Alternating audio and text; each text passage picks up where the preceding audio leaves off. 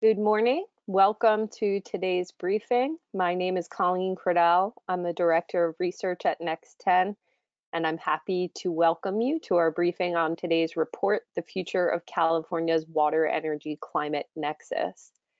I'm here with our experts and speakers from the Pacific Institute, and we've got a lot to share with you today, so we're going to go ahead and jump in. Before we do, I want to remind all of our attendees that we will be recording today's session. The recording will be emailed to each of you tomorrow after today's briefing and available on our website. You can also uh, reach the report itself either on our website or you'll find it in the handouts feature of your GoToWebinar control panel. So if you can find the handouts portion of the control panel, you'll find both the full PDF of the report as well as the executive summary. I also wanted to let everyone know that we will be taking questions throughout the presentation, but reserving time to answer those questions until the end of the presentation. So if you do have questions for our speakers, you can continue to ask those using the questions feature in your control panel, again, throughout the presentation. And then when we reach the end of our presentation, we'll go ahead and address all questions. So without further ado, I, would like to move on. Stephanie, if we could go to the next slide. So today's briefing includes our three authors and speakers from the Pacific Institute on this report. Dr. Peter Gleick, President Emeritus of the Pacific Institute, Heather Cooley, Director of Research at the Pacific Institute, and Dr. Julia Szinai, I'm, I'm sorry if I'm getting your name wrong, um, researcher at the Pacific Institute and a postdoc at Lawrence Berkeley National Lab. Again, my name is Colleen with Next 10. We commissioned the report with the Pacific Institute and are supporting the outreach for this important work. And I'll be serving as our moderator for today's presentation and question and answer. You can go ahead and move on. So before I turn it over to our research team, I wanted to briefly share some motivations and objectives for this report. From Next 10's perspective, we closely follow climate and clean energy trends in the state, and what we know from our research is that California is not quite on track to meet its 2030 greenhouse gas emissions reductions targets. We also know that the energy intensive water sector can play a role in meeting those climate goals.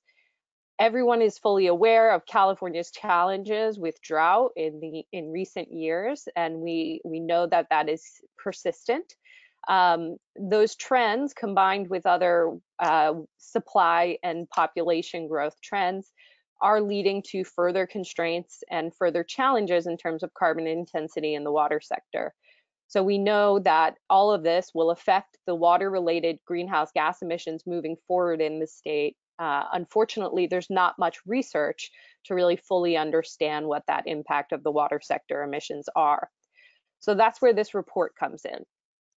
The objective of this research was to estimate the energy and greenhouse gas footprint of California's urban and agricultural water sectors, and to look at that under various future water demand and supply scenarios to better understand what changes might help address greenhouse gas reduction opportunities. We can go ahead. Finally, just to lay things out as we set into the research presentation, this report included a comprehensive assessment of the energy and greenhouse gas footprint related to water in California. Our researchers also looked at case studies which highlighted key risks and opportunities associated with water-related energy use and greenhouse gas emissions in order to better understand what opportunities might exist in different regions throughout the state and for different aspects of the sector and different types of sources. This culminated in a thorough set of policy recommendations that can help reduce California's water-related energy and greenhouse gas footprint. And that's what we're here to share with you today.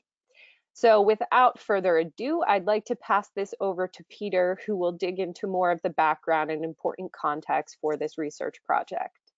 Again, before I, I pass it over to Peter, I just want to remind folks, please go ahead and drop any questions in the question feature as we proceed. Thank you. Yes, good morning. Thank you, everybody. Uh, thank you, Colleen, for the introduction. Uh, I'm Peter Gleick. I'm the co-founder and president emeritus of the Pacific Institute. For those of you who don't know the Institute. The Institute is a global think tank addressing uh, freshwater problems and especially Solutions. We're based in Oakland. Uh, we've worked extensively on climate, water, and energy issues over the last many years, and we're delighted to have partnered with Next 10 on this project. I'm just going to provide a little more background before I turn it over to my colleagues to talk about the methods and the conclusions of the report. Uh, a background, first of all, on California's water, energy, and greenhouse gases. Uh, many people don't understand this, but those three issues are very closely linked. Uh, California's water system, the entire system from collection to the distribution to use to treatment of water is responsible for a very significant fraction of California's energy use. About 20% of total statewide electricity use goes to the water system and to the way we use water. About a third of non-power plant natural gas consumption goes to our water system, again, largely for heating the water that we use in our homes and the water that's used in industry. Uh, about 100 billion gallons, a little less, of diesel consumption statewide goes to the goes to the water system. And the state water project, which moves water from one part of the state to another, especially from the mountains in Northern California to Southern California, is the single largest consumer of electricity in the state. As a result of this, our water use has very important implications for the state's energy use and, of course, for the state's greenhouse gas emissions. Next slide. A little more background on California's water system and how changes in supply and demand are changing over time. Again, as Colleen mentioned at the beginning, uh, the state faces a, a, very severe drought right now, a two-year drought. Our new water year is about to begin, but we don't know whether the next year will be wet or dry and worsen the drought conditions that we face. Uh, in the urban sector, what we see are both growing populations, but also a declining per capita water use over time, which is actually good news. Uh, we're using less water per person in the urban sector uh, every year, although populations continue to grow. And for some water agencies, the expectation is that the demand will continue to grow. And in the urban sector, again, we're seeing a shift in where that water is coming from, a shift in water supply to more local sources with varying energy intensity. Again, as my colleagues will talk about, these different sources have different energy intensities and different implications for uh, greenhouse gas emissions. In the agricultural sector, water use has been flat in recent years, uh, but we see a greater and greater reliance on groundwater, especially during droughts. As surface water disappears, the agricultural sector is turning more and more to groundwater. But even in a normal water year, uh, overdraft of groundwater is a serious problem. Uh, and declining groundwater levels has implications for our energy use. It takes more energy to pump up the groundwater that the agricultural sector is using. So we might see flat water use, but we may see increasing energy requirements to meet agricultural water demands as well. Next slide. some key takeaways from the report, some of our key conclusions, so you know what we'll be saying as we move through the report's conclusions. First of all, water-related energy and greenhouse gases are driven by the total water use and the mix of sources. How much water we use and where that water comes from defines the energy and greenhouse gas consequences of the water system. And under current or increased per capita water use scenarios, where water use is growing or per capita water use is growing, we expect both energy and greenhouse gas emissions to increase. In the urban sector, water use efficiency improvements offer the greatest potential reductions in, in water-related energy use and emissions. If we can use water more efficiently, it's the greatest opportunity to cut the amount of energy we use and the greenhouse gas emissions associated with that water use decarbonization, and by decarbonization, what I mean is the removal of carbon emitting sources from our energy system, coupled with greater electrification of end use, in particular getting rid of natural gas water heaters in our homes, offer the greatest potential to accelerate reductions in water-related greenhouse gas emissions. In other words, the more carbon we can get out of our broad energy system and the more we can eliminate natural gas from our water heaters, uh, that offers the greatest reduction in reducing emissions. Agricultural water use is far greater than urban water use overall in California. Three or four times more water is used in California for the agricultural sector, but urban water use is very much more energy intensive, that is energy per unit water used, and it produces much more greenhouse, many more greenhouse gases uh, than the agricultural sector. And finally, restoration of groundwater levels, if we can figure out how to do that through the Sustainable Groundwater Management Act, that'll be addressed later in the conversation as well, and reducing pumping can cut the energy use required by the agricultural sector.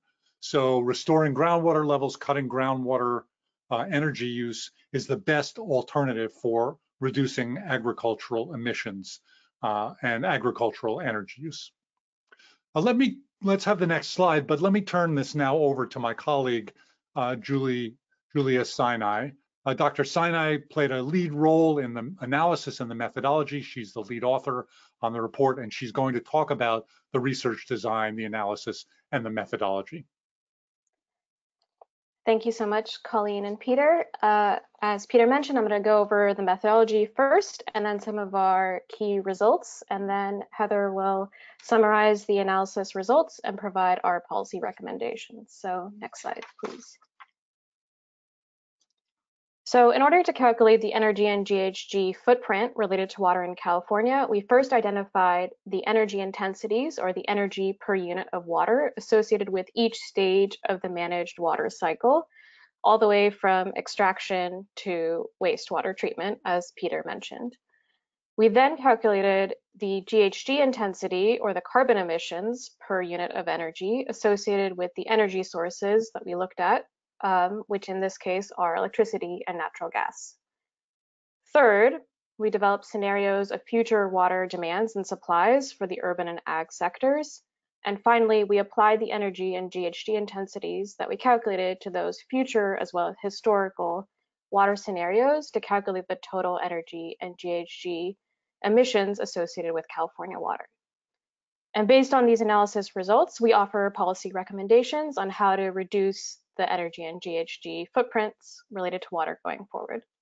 Next slide. So um, as Peter mentioned, energy is required to power all stages of the managed water cycle.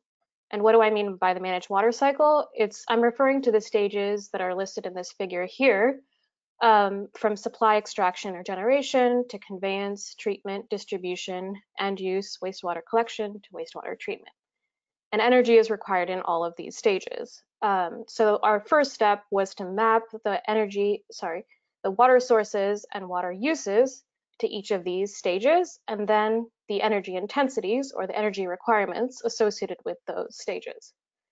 So I'll provide some examples of what those water processes are that correspond to each of those stages. First, um, starting from the left, uh, in the supply extraction category, we have groundwater pumping because it takes quite a lot of energy to pump water from the ground up to the surface. Then for other sources, uh, surface water that's delivered through the State Water Project, which is a large aqueduct, um, it requires a lot of energy to convey that water long distances and often over mountains. Then we're if we're talking about urban water, that gets treated at a drinking water treatment plant. We assume ag water doesn't receive drinking water treatment. Then that water for urban uses gets distributed from the treatment plant to homes. And one of the major end uses is for water heating. Finally, it gets wastewater treatment. And some of that wastewater is further treated for recycled water uses, either potable or not potable. Um, next slide, please. And so there's quite a lot of variation in the energy intensity of these different water supply sources. Um, not just between the sources, but also geographically in the different regions of California. This figure here, um, going down the rows, shows the energy intensity of the different water supply sources, and then the range of the bars shows the ranges between the different regions. Um, as you can see here, local surface water is the least energy intensive, whereas desalinated water from seawater is the most energy intensive. And then conveyance energy for the State Water Project and Colorado River Aqueduct are also quite energy intensive. And the upper end of that range is to get that water to Southern California. Next slide.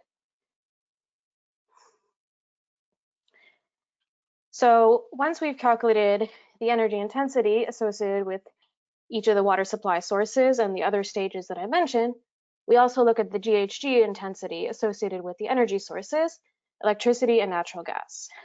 And so for electricity, we assume a statewide average uh, carbon emissions per unit of energy, and we assume that it's all generated in California. And here I'm showing a figure of the energy intensity or the greenhouse gas intensities that we're assuming, which come from simulations for the three major energy agencies to uh, project the state reaching or being on target to reach its decarbonization or SB 100 goals. And then we use a fixed GHG intensity for natural gas, which is the other fuel source that we look at um, for water heating. Next slide. And then the third main step of our analysis is to generate future water demand and supply scenarios. And given data availability, we do that separately for urban and ag uses. Um, we look at future water demand for 2020 to 2035 in five-year increments by aggregated up to the hydrologic region, of which there are 10 in California. And given our focus on changes in future demand, we hold the supply mix, or the ratio of different supply sources, as given um, from water suppliers' plans for the urban sector or from DWR for the ag sector uh, for each region.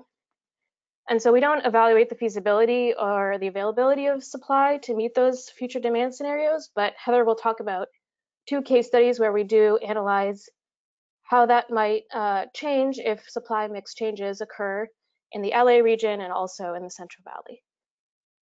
Um, so let me start with the urban scenarios here. Um, first, uh, we started with our data from the 2015 urban water management plans which cover about 400 water suppliers and 90% of the state's population. I'll start with the high scenario, which basically takes uh, their water uh, projections as given from the suppliers, and it assumes a growing per capita water demand and a growing population. Then our mid scenario, we hold the 2015 per capita demand constant and just allow the population to grow. And that's kind of business as usual. And the low scenario represents a high level of water efficiency and conservation, where we decrease per capita demand 2% per year, which is um, consistent with recent trends among the top water suppliers in the urban sector.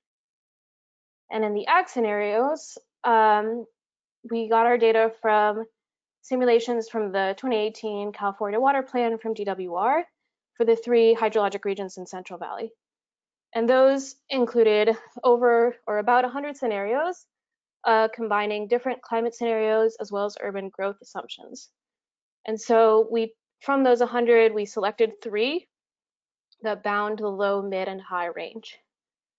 The high range, or sorry, the low range uh, assumes high urban growth and an increased encroachment on urban from urban uh, users to ag land that takes ag land out of production and lowers ag water use. And it's also the scenario with the greatest climate impact. Then the high scenario is the opposite of that, with the lowest urban growth, least encroachment on ag land, and the lowest climate impact. And the mid is an urban growth scenario that's kind of in the middle. And so those are our main scenarios, which provide the water volumes to which we apply the energy and GHG intensities. So let me now go through some of their key results. Next slide. I'll start with the urban results. uh, great. Um, so I'll start with the urban water demand results here. The figure on the left shows the total uh, urban water demand for each of the five-year increments that we looked at for each of our three scenarios, um, aggregated up to all of California's urban sector. And in the first panel, it's the water supplier projection scenario, the high scenario. The middle is the mid case where we assume constant per capita demand and just allow population to go up. And then the third is our low scenario with a decreasing per capita demand.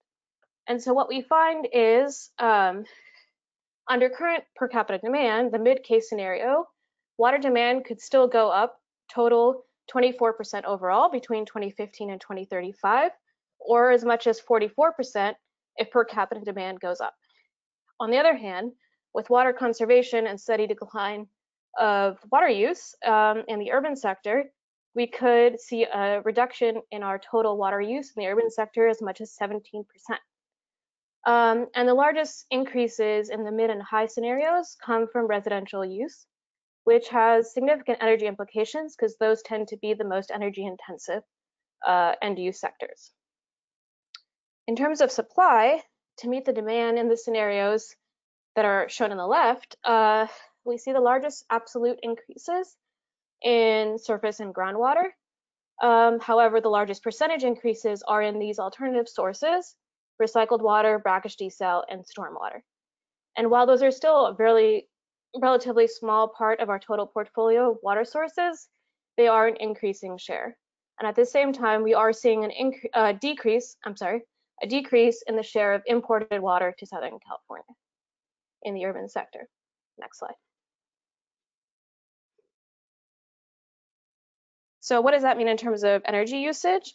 For the urban sector, we look at electricity across all stages of the water cycle and natural gas, again, for water heating only. So here, this figure shows electricity use. Um, the colors represent the different stages, and you can clearly see that the purple bar is the biggest share in terms of electricity use for end uses for water heating.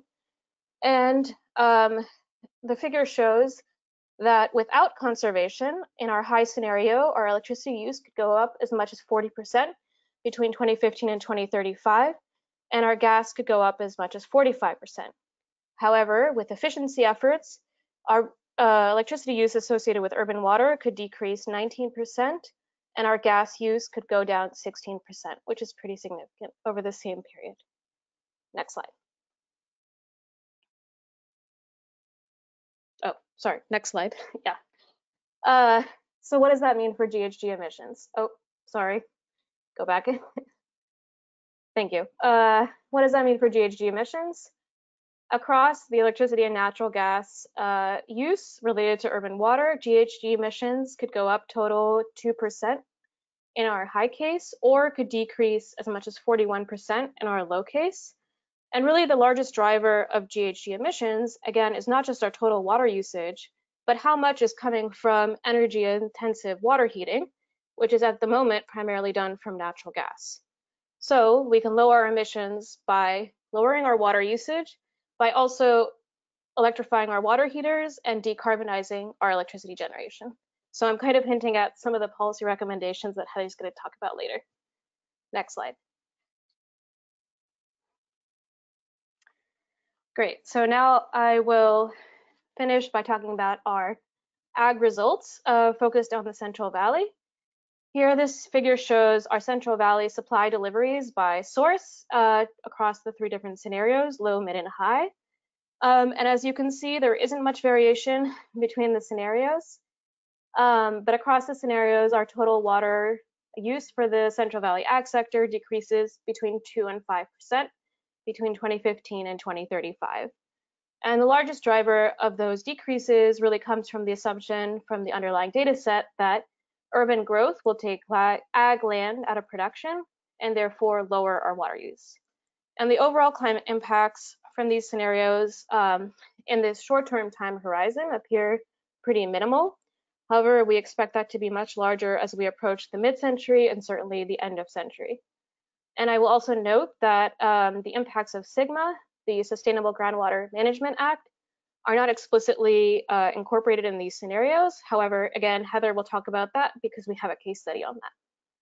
So um, across the scenarios, the largest absolute decreases come from groundwater and surface water from the State Water Project. So next slide. So what are the energy and, implica uh, and GHG implications of the ag results? Uh, electricity use associated with ag water decreases 44 to 6%, um, primarily driven by the decreasing water use. Um, however, GHG emissions across the scenarios decrease as much as 60%. And that's because all of the energy use that we're looking at is associated with electricity. And so there's a combined effect of both lower water use and decarbonization that fully leverage the benefits of using electricity um, and really lower the emissions associated with ag water. And so um, these were the key results. Uh, I want to highlight that these were all aggregated up either to Central Valley for the ag results or to the statewide level for the urban results, but we have quite a bit more detail in the report if you're interested that show the geographic variation of these results in both water, energy, and GHG. So I welcome you to take a closer look at that. And so now I will take, uh, I will hand it over to Heather Cooley, who's the Director of Research at the Pacific Institute, um, who will summarize these key results, describe our case studies, and provide the policy recommendations that come out of them on how we can actually achieve the lower energy and GHG footprint related to water. Thank you. Thank you, Julia. Let's go ahead and switch to the next slide, please. So I'm going to talk, uh, as Julia mentioned, uh, we evaluated three urban water scenarios. Um, in the high water use case, which is shown on the right, that was based on information reported by water suppliers in their urban water management plans um, water suppliers projected that their total water demand would increase by about 44% between 2015 and 2035. That, of course, increases water-related electricity and natural gas use. Um, and this, the results of this suggest that despite major efforts to decarbonize the electricity grid, water-related greenhouse gas emissions would increase by 2%. By contrast, the low water use case, case which is shown on the left, maintains the 15-year uh, trend of a 2% reduction in per capita use. Um, in this case, total water use declines by 17% despite continued population and economic growth. This results in a reduction in water-related electricity and natural gas use. So it suggests that urban efficiency, when coupled with decarbonization of the grid, can reduce water-related greenhouse gas emissions by 41%. Next slide, please. Just in summary around the agricultural scenarios, we evaluated three scenarios agricultural water use is expected to decline across these scenarios by about 2 to 5%. And again, that was largely due to urban encroachment. It did not look at sort of SGMA related issues. Um, reductions in water use are then projected to re reduce electricity use. And that coupled with the decarbonization of the electricity grid um, could lead to significant reductions in agriculture's water related greenhouse gas emissions. We estimate by about 62% across the scenarios. We'll talk a bit more about SGMA in the next couple of case studies to talk about how that might shift this. Next slide, please. In addition to the scenarios, we also examined a couple of case studies, three case studies, to identify additional risks and opportunities at the water energy climate nexus in California. The first was a case study looking at Los Angeles. Um, Los Angeles has announced goals of reducing reliance on water imported from uh, Northern California and from the Colorado River, River Aqueduct. Um, they've also announced goals of recycling 100% of their wastewater and investing in stormwater capture. And while they're taking these steps largely to improve their water resilience, our analysis finds that replacing imported water with a combination of stormwater capture and water reuse can also help to meet energy reduction and greenhouse gas goals. There are also renewable energy opportunities within water and wastewater systems, and that's what we examined in the second case study. East Bay Municipal Utility District, uh, which is located in Northern California, uh, made a strategic pivot from an operator of a wastewater treatment and discharge facility to an operator of an energy recovery facility. Um, their West Oakland plant not only produces recycled water, it also generates energy. Nearly a decade ago, it became the first wastewater treatment plant in North America to be a net energy producer. Today, it's estimated that they are able to avoid about $2.5 million in energy costs each year and generate $750,000 in revenue by selling the excess energy that they generate back to the grid. So they're not only, of course, saving ratepayers money in that sense, they're also helping to contribute to meeting our greenhouse gas targets.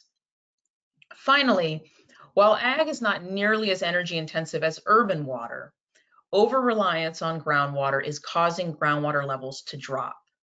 We looked at um, some of the minimum thresholds that are put forth in for San Joaquin Valley groundwater base, uh, basin plans under SGMA, the Sustainable Groundwater Management Act. And those thresholds suggest that groundwater levels could be 100 feet below current levels. This would, of course, increase the energy required to pump water to the surface and offset some of those greenhouse gas emission reduction targets that we saw in the scenarios. Next slide, please. I want to conclude with some of our key uh, takeaways from the report. Uh, we find that water-related energy and greenhouse gas driven uh, greenhouse gases are driven by total water use and the mix of sources, and at least for the urban sector, are expected to increase under current or increased per capita water use. We find that urban water efficiency offers the greatest reductions in water-related energy use and greenhouse gas emissions. We also find that in combination, in addition to reducing usage, efforts to decarbonize our electricity grid and to electrify our end uses, especially around water heaters, can accelerate our reductions in water-related greenhouse gas emissions and again, help us to meet those targets. Agricultural water use is far greater than that of California's urban sector, um, but their urban water is nine times more energy intensive and produces nine times more greenhouse gas emissions. However, there are opportunities even within agriculture to restore groundwater levels and reduce pumping, and that can that too can help to cut energy use of the agricultural sector and, and of course the associated greenhouse gas recommendations. Next slide. I want to talk now uh, about some of our policy recommendations. We have we have a few uh, to put forward. Next, please. We offer several policy recommendations that can strengthen California's commitment to its climate goals while also ensuring a sustainable path for water management. First is to expand water conservation and efficiency efforts. We have made significant improvements in water efficiency and urban efficiency especially, um, but far more can be done. Urban conservation and efficiency can help us to meet our water goals as well as our energy and climate goals. Second is to accelerate water heater electrification. Across the managed water cycle, natural gas water heaters are the single largest emitters of greenhouse gases. We know that electric heat pumps are far more energy efficient and can provide significant greenhouse gas benefits at, as the electricity grid is carbonized. So it's really in combination, can be a very powerful tool for helping us to meet our climate goals. In addition, restoring groundwater levels and expanding the use of variable and high efficiency pumps. Um, together, these measures can help reduce energy use, energy costs, and also greenhouse gas emissions. Next slide, please. We also recommend that financial incentives and, rec and regulatory pathways for greater investments in less energy and greenhouse gas water systems um, existing financial incentives and programs for energy and greenhouse gas reductions, things like cap, cap and trade programs and funds, should be available to water suppliers for not only reducing their demand, but also shifting to less energy intensive water sources. We also recommend expanding water data uh, reporting and energy use tracking. Um, we spent a significant amount of time in this analysis really pulling together the scenarios, the water use, uh, both for uh, on the urban side, but on the agricultural side. A more harmonized set of projections of future water demand and supply, along with energy use and energy intensity of those supplies, are really essential for understanding that water energy climate nexus in California. I do think that this analysis was an important step, but there were some gaps, and certainly better reporting can help us to uh, resolve those. Ultimately, the energy intensity of the water system must be tracked alongside other state environmental indicators to help us meet our energy and greenhouse gas goals. And finally, we recommend that there be more formalized coordination between water and energy regulators and utilities. If water system energy demands grow as projected, California's electricity and natural gas systems will need to alter infrastructure planning to ensure that energy remains reliable. Um, coordinate improvements in coordination between these energies can lead to better integrated energy and water planning. It can lead to reduced costs to consumers, and certainly it can lead to faster decarbonization of California's water systems and of its greenhouse gas intensity.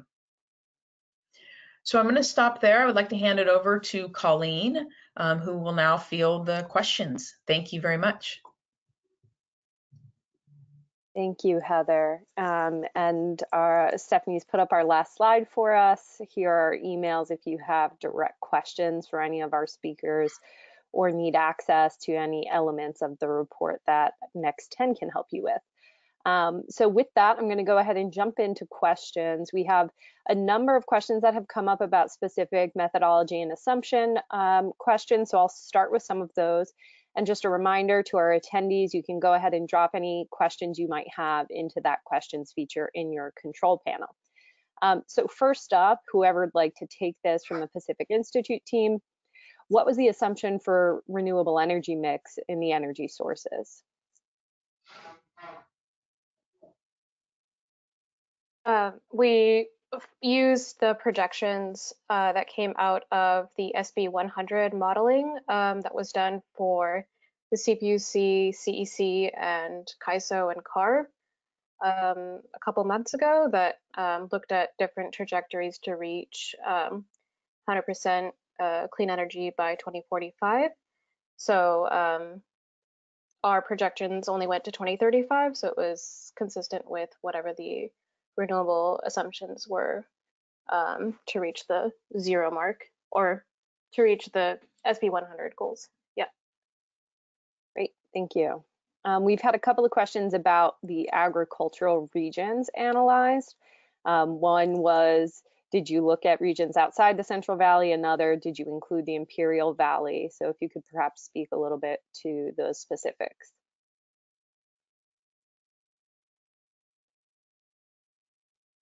Uh, I, I, guess I can go again. Uh, yeah, we looked at just the three hydrologic regions in Central Valley, so Sacramento, San Joaquin, and Tulare, um, because uh, that was the data that was available from um, the DWR analysis that focused just on Central Valley. So unfortunately, we did not include um, any ag outside of that, um, but the Central Valley, as far as I know, covers about 80% of ag water use in the state. So it's nearly all of it. Um, so really helps drive home the point from Heather about needing better data and reporting as well, I think.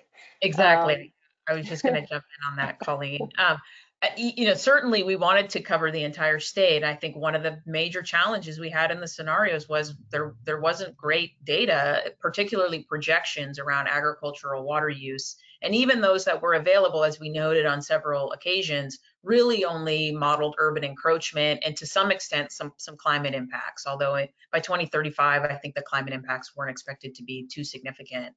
Um, we do, though, as we noted, and that was one of the reasons in the case study we explored the SGMA implementation and, and what that could do. Um, you know, there are some important potential changes.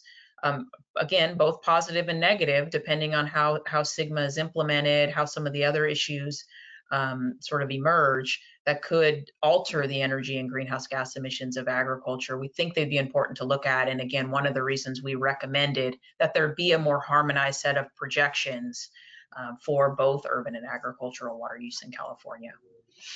I would I would just add also there's a parallel question on the urban side to just again highlight Heather's comment that uh, better data are needed. Just as we addressed about 80% of the agricultural water use by looking at the Central Valley component, the urban sector looked at about 90%, but not 100%, about 90% of urban water use statewide.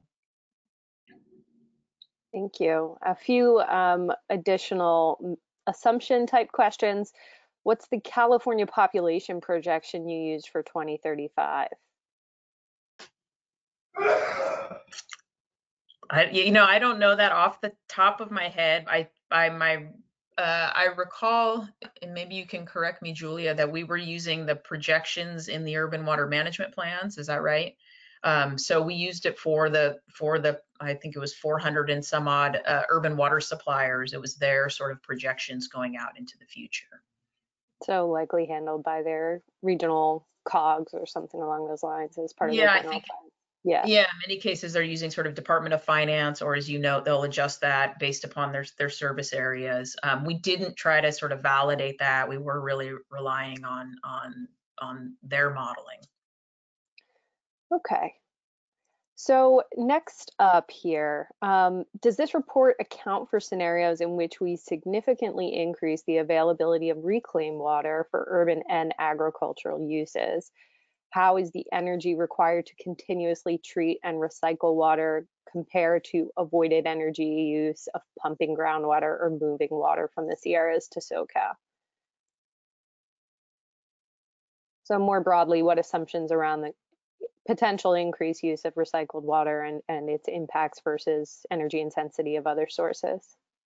Julia, do you want to jump in maybe on the scenario piece and kind of how you handled the supply piece? And then I can maybe talk a little bit about the, the issues that were fell into the, the case studies and the kind of the broader questions.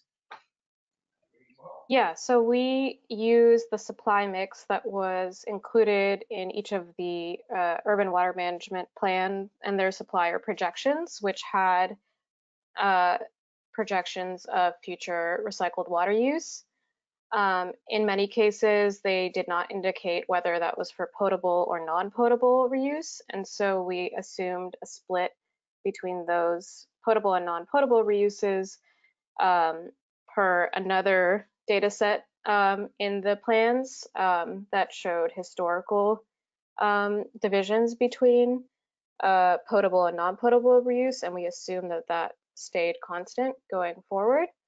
Um, it was certainly a simplifying assumption that might not hold going forward and might um, be a different split between potable and non-potable, but um, without further information for each of the 400 suppliers, um, that was, um, we thought that was an appropriate uh, simplification. And um, we did look at specifically for LA in the case study um, how a more significant shift to recycled water, um, replacing other sources from outside of the region, um, what the implications would be for energy use. Um, and I think that there is a, in we can go back to one of the earlier slides, or it's in the report, how exactly uh, potable water, uh, potable and non-potable recycled water compares in terms of its energy usage to the other sources. Yeah, I, I think on I generally too, just to build on that, um, recycled water generally falls sort of in in the middle. I would say it's less energy intensive than seawater desalination. Um, more energy intensive than local water sources and groundwater. Uh, and in most instances, it's less energy intensive than imported water. Um, in particular, imported water to, to, Southern California. So, so again, that was one of the things we evaluated in that Los Angeles case, where we saw that there was an energy savings opportunity by reducing reliance on water imported from Northern California and the Colorado River, and instead pursuing recycled water. I, I, will though say too that there is a difference even within recycled water. As Julia noted, there's there's recycled water that's used for non-potable purposes or for agriculture that's less energy intensive. As you start to get more to potable, it becomes more energy intensive. But again, the, the still the, the trend of less energy intensive than desal and in most cases to, to imported water um, holds in, in either case we do think there might be some interesting opportunities. And again, we just kind of played around with this and, and it's still a little bit uncertain, but some of the regulations around direct potable reuse are under development now. We expect to see more of that in the future. It's unclear yet what the energy implications of that, although the, there are I, potentially some opportunities that direct potable reuse could be less energy intensive than indirect potable reuse because with indirect potable reuse, you're typically treating the water multiple times. Um, so it's still a bit of an open question because we're not yet sure what the treatment requirements will be or how that'll play out, but it's certainly an issue, an issue to watch. And I should add, I just looked back on the report to confirm the number. Um, even with the water supplier projections that we were using um, from the 2015 plans, uh, across the urban sector, there's like a 300% increase in um, potable recycled water. So even um, five years ago, there was uh, a big increase. Yes, it's still a small share of the total portfolio, but um, we have included a, a big uptick. Okay, if I could, you. Colleen, if I could also add, uh, this is an opportunity to highlight again that there's a lot more detail in the report about the regional results. Uh, Heather's comment that if you're replacing very energy intensive imported water with recycled water, uh, that has one with less less energy intensive recycled water, then there's an energy and greenhouse gas benefit. Some parts of the state, uh, local water is less important or, le or, is less energy intensive, and if you're replacing it with more intensive energy intensive recycled water, there might be a negative consequence for energy and greenhouse gas emissions. So I, I urge if you're interested in the regional results, take a look at the report. Again, Colleen put in the um, handout section where you can get it, uh, and there's more detail there. Great. So we have two questions that I'll kind of ask side by side. Um, one is why is urban water so much more energy and greenhouse gas intensive compared to agricultural water? Um, and a somewhat related one is what does decarbonization of agricultural water look like? Does it require heating? What is the sort of energy intensity looking like there? So if you could perhaps speak to the, the differences between each in terms of intensity and opportunity to reduce. I can jump in on that, and then maybe uh, Julie, if you have anything to add. Uh, the urban water, uh, that water is is is tr typically treated, treated to drinking water standard, um, and and prior to use, there and there's energy for that. Um, there is also energy in, in using the water in homes and in businesses, often typically heating it. Um, although there can be some on-site treatment there too. And then with on the indoor uses, at least in the urban area, there's wastewater that is then collected and treated and discharged, and all of that can, can require energy. Um, compare that and contrast that with agriculture, where yes, they may be using more and pumping more water and pumping it potentially from greater depths. Um, they also, though, rely on surface water. That water doesn't isn't typically treated. Um, there isn't, and there there can be some on-farm usage if they're pressurizing it for drip, but there's not wastewater. So to, to be treated typically. So, you know, and that, that that's the main reason it, it's less energy intensive. Um, it doesn't have the wastewater, the treatment, the wastewater treatment or the end use energy. Yeah, basically that and uh, heating water is surprisingly uh, very energy intensive uh, and it dwarfs a lot of these other um, energy requirements across the managed water cycle. So um, that's one of the big reasons besides the treatment requirement differences. Great, thank you. Um, so next I'm going to jump to a couple of policy related questions, policy and regulation questions. Um, the first is related to SGMA.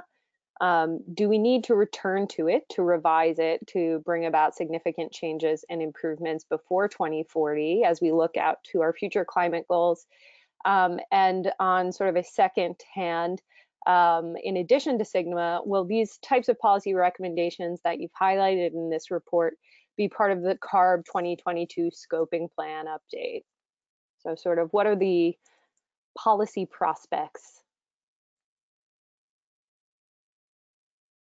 Peter, you want to take SGMA? I'll take the, the second part, the CARB.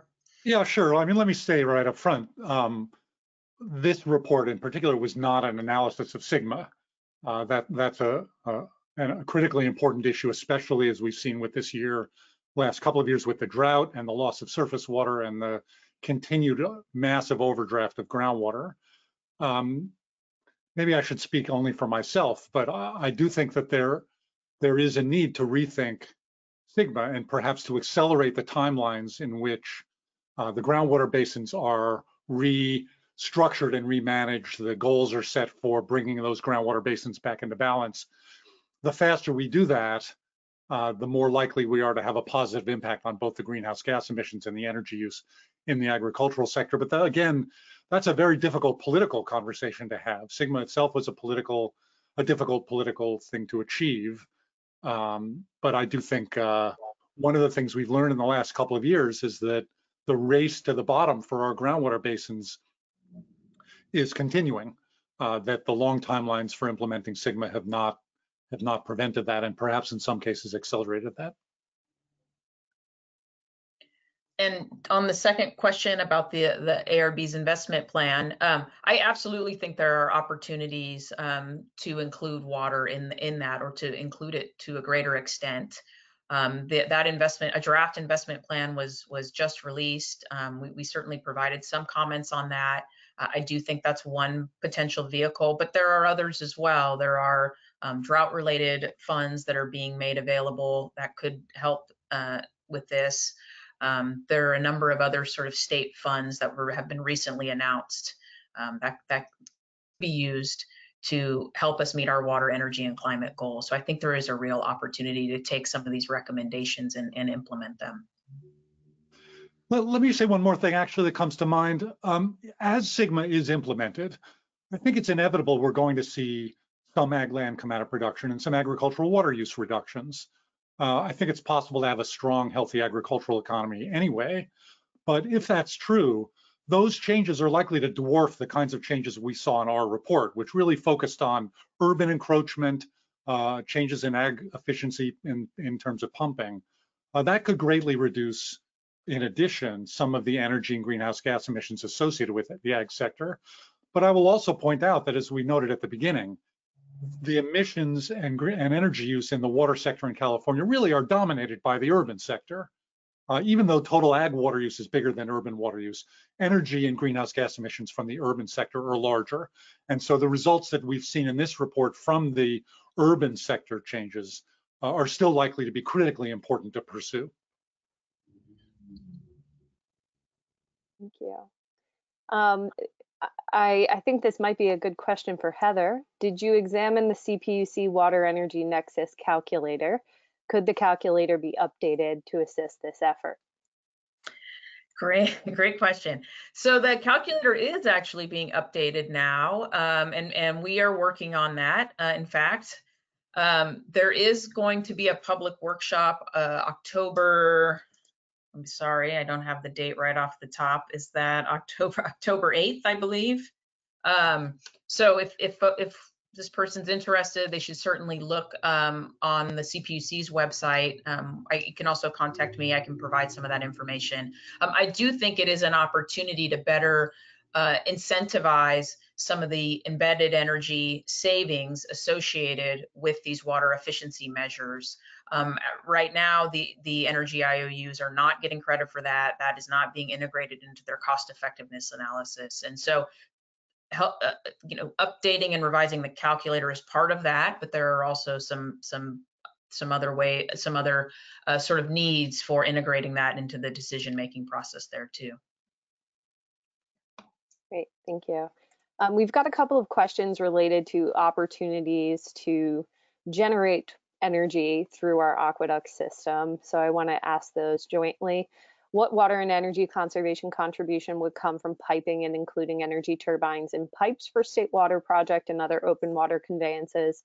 And another attendee asked about potentially including solar installations on aqueducts.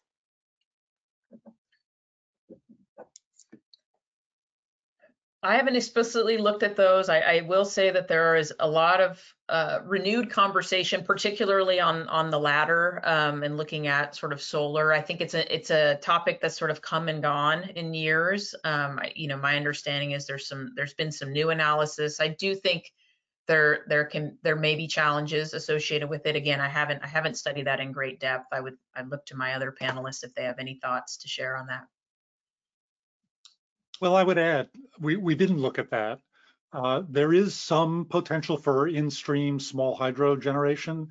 Uh, it's probably pretty expensive, relatively speaking, from an energy perspective. Uh, and again, the second part of the question is Heather addressed may, maybe the, the best response that is perhaps expand the DWR's ability to produce renewable energy, both as part of powering the state water project uh, that would fit into the decarbon, the broader decarbonization strategy of the state. Uh, and you know, it's an economic question about whether D DWR will pursue that, and whether it's better to put panels on top of the aqueducts or put panels on unproductive land elsewhere. Those, those are economic economic questions that I think are still up in the air.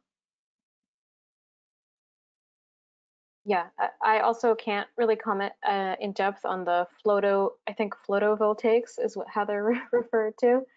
Um, but in terms of the hydropower piece, we did net out the hydropower that's produced as water comes downhill um, from the major conveyance uh, projects. So that is included, um, or sorry, not, it's netted out of our energy requirements. So the existing ones at least. Um, as you've uh, just ended on that note, someone did have a question about assumptions about declining hydro energy supply moving forward. Um, I know that large scale hydro counts for some energy goals and not for our RPS targets officially. Um, so I'm not sure how that uh, fed into the energy mix assumptions that you included in your scenario analysis, but perhaps you could speak to the role of declining hydro power. Yeah, um, we did not explicitly include climate impacts um, on hydropower in the energy mix and therefore the greenhouse gas intensity of our future energy mix. Um, but that is certainly something I'm interested in and I'm working on in other research um, because it will affect our carbon intensity um, and it might mean that to meet our greenhouse gas goals, we have to procure more solar, wind, and other renewables to make up for those uh, decreases. I would add, um, uh, again, that did not particularly appear in the climate scenarios that we integrated into the study. Uh, we did at the Pacific Institute a few years ago after the last drought release a report on the decline in hydropower generation as a result of the drought and the implications both for greenhouse gas emissions and consumer energy prices because we burn more natural gas to replace hydro lost during droughts. Uh, that report came out after the, the previous extreme five-year drought. Uh, we're doing an update now. We won't have the final results till the probably till December when the final energy data are available for California. But we will do that again for the, the recent two-year drought Normally, hydropower is about 15% of our electricity generation. Uh, during the drought at the moment, it's close to seven or eight. So it's a very significant drop during droughts. And whether that will get worse as the climate climate uh, changes kick in uh, is not perfectly clear from the scenarios, but it's something we're keeping an eye on. Okay. As we uh, near the end of our hour here, I wanted to perhaps end with this question. Um, before I do pose it to our speakers, I will remind all of our attendees that this presentation recording will be sent to you. Someone did ask whether or not uh, slides could be shared. You can feel free to email me, Colleen at next10.org, and I can coordinate with you to get that to you. Um, and for anyone else whose question we weren't able to get to today, I also encourage you to reach out to myself or our panelists. I'm happy to direct questions to them um, to see if we can get you any further questions or feedback you might need on this important research. So with that, our final question, um, we've covered a lot of ground in terms of policy recommendations and we understand that it's complex and there's a lot more detail we all need to understand on the regional variances in, in terms of these implications and findings. But to try to cut through the noise here, what steps can we realistically take in the next few years, whether that's five or 10, to impact the current projections in terms of water related energy and greenhouse gas intensity? Um, you know, not at the highest level, but perhaps not just what are the steps that can be taken, but what are our best hopes for actually achieving those from a, you know, perhaps political reality perspective as well.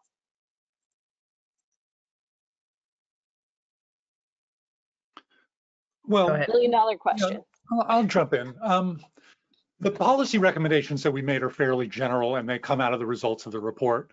For example, uh, remove natural gas water heaters. Um, whether that's done by providing incentives to homeowners, financial incentives to homeowners, by changing building codes locally or at the state level, we are not explicit. Uh, that, that's those are policy questions that have to be debated by policymakers, by the legislature, by individual water agencies that might have strategies for encouraging that kind of change. Um, so I, I, think the things that we want to do are, in, first of all, at the broadest level, reiterate that the water sector is a really important player when it comes to the state's energy use and greenhouse gas emissions. And up till now, we have not integrated those together. We've sort of ignored the water sector. And there are these strategies that we can do uh, at the local level, even at the individual level. If your if your water heater breaks, think about getting an electric water heater rather than, than a natural gas one, up to discussions with our legislators, with our policymakers about how to better integrate water into the goals that we have to achieve for reducing emissions. Yeah, I mean, I, I, would also just to to to remind you know everyone we, we are in a drought, and and these droughts are, I think, uh, highlight some of the challenges in our systems, but provide some important uh, opportunities. And we often see a renewed interest and focus, particularly from from the public, from various businesses, from from within the agricultural sector, to make real change. Um, and we've seen in past droughts some pretty dramatic reductions in water usage that have have led to significant energy and greenhouse gas savings.